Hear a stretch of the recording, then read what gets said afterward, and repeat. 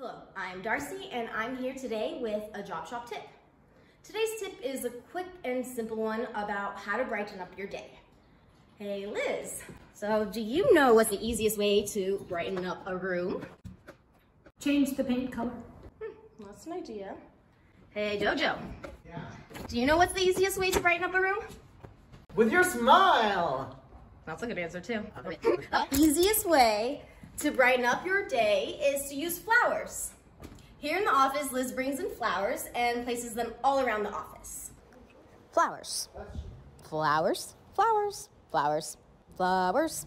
Whether you pick flowers from your garden or buy them from a store, flowers are a great way to not only liven up a living space, but it also adds a lovely natural floral scent, which would boost anyone's mood.